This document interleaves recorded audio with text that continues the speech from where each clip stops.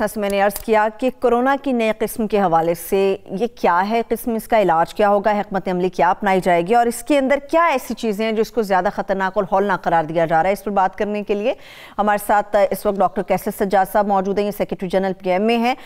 बहुत शुक्रिया डॉक्टर साहब आपके वक्त का कि आपने हमारे लिए वक्त निकाला। हारून साहब भी मेरे साथ मौजूद है, मगर मैं ये जानना चाहूँगी कि पहले आप लोगों ज़रा बताएँ कि कोरोना की जो नई किस्म है, जिसे B dot one dot one dot five two nine का नाम दिया गया फिल वक्त वो क्या है? असल में क्या है ये किस्म?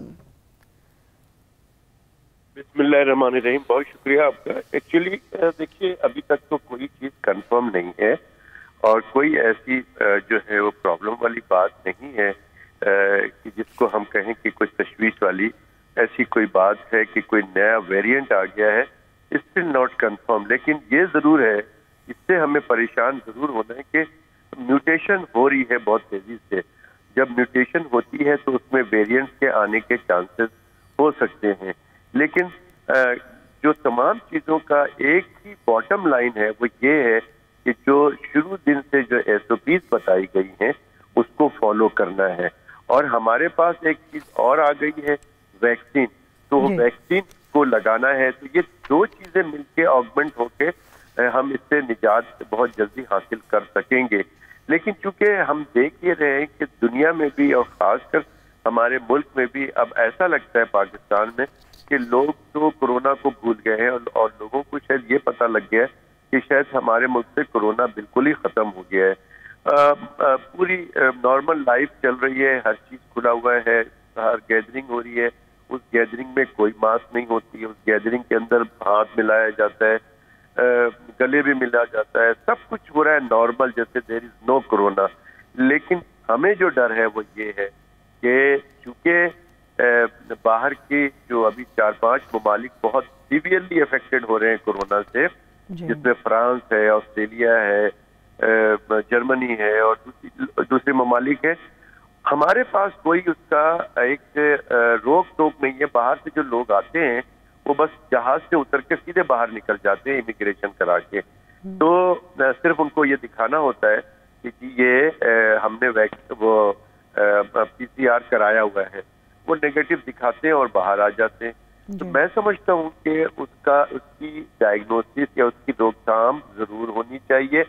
जो हमारा एक सिस्टम इसकी रोकथाम को हमने बताया हुआ है उसको फॉलो अप करना चाहिए ताकि हम हम स्क्रीन आउट कर सके कि कहीं बाहर से कोई लेके तो नहीं आ रहा है। और हमारे यहाँ जिन लोगों को अभी भी ग्राफ स्टेट नहीं हुआ है हम्म। अभी भी आप देखें तो 300 400 लोग रिकॉर्डेड हो रहे हैं। अब ये तो वो रिकॉर्डेड केसेस है लेकिन अनरिकॉर्डेड अनरजिस्टर्ड बहुत सारे केसेस हैं। तो वो एक को दूसरे को लगाते हैं वो म्यूटेट करता है।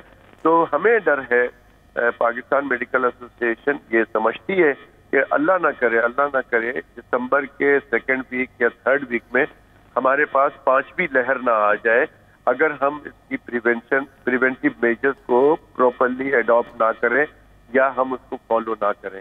तो ये है बाकी जो साउथ अफ्रीकन वेरिएंट्स की बात हो रही है स्टिल अभी इसमें हमें कहीं पर कोई आर्टिकल में या किसी तरफ़ से अभी कंफर्म नहीं है कि वो है क्या। चूँकि ये नया वायरस है तो कोई ना कोई ऐसी चीज़ें आती रहेंगी। लोग जिसको होगा वो बोलेगा। लेकिन एज सच अभी उस तरह से हमें परेशान नहीं होना है।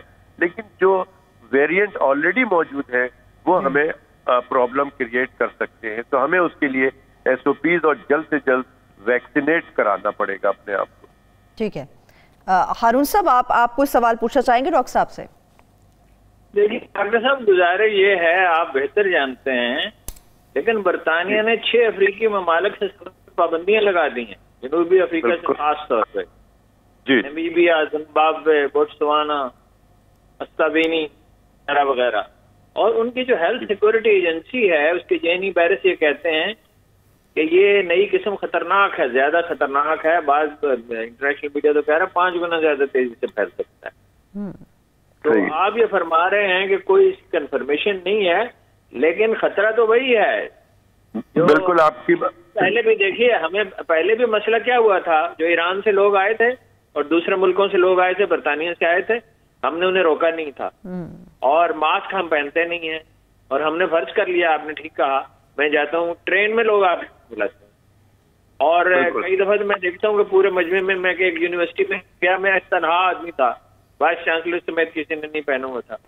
मास्क और वो उसको हम भूल ही गए हैं टोशन लगाना है हाथ तो मेरा ये ख्याल है कि इसको अलग करते रहना चाहिए और आपके एसोसिएशन की शायद ज़्यादा ज़रूरत है। हाँ हारून भाई बहुत शुक्रिया आपका। आप बिल्कुल सही कह रहे हैं और पाकिस्तान मेडिकल एसोसिएशन देखें आपने बिल्कुल सही मुझे भी याद दिला दिया कि 22 जनवरी अ, 2020 को हमने एक प्रेस रिलीज़ और एक लेटर लिख के ये मुतनबे किया था कि चीन के शहर वुहान में छह लोग इंतकाल कर चुके हैं और पाँच और तीन सौ लोग एक कोरोना नाम की का वायरस है, जिसमें ये मुबतला हुए हैं। तो ये चूँकि लोग चाइना जाते हैं, स्टूडेंट्स जाते हैं, बिजनेसमैन जाते हैं तो ये बीमारी पाकिस्तान आ सकती है। तो बेसिकली कोरोना वायरस तो है अपनी जगह, लेकिन अब डिफरेंट वेरिएंट डेफिनेटली आएँगे। हमें, हम हम ये कह रहे हैं, हमें परेशान, हमें बेसिक चीज़ से होना चाहिए।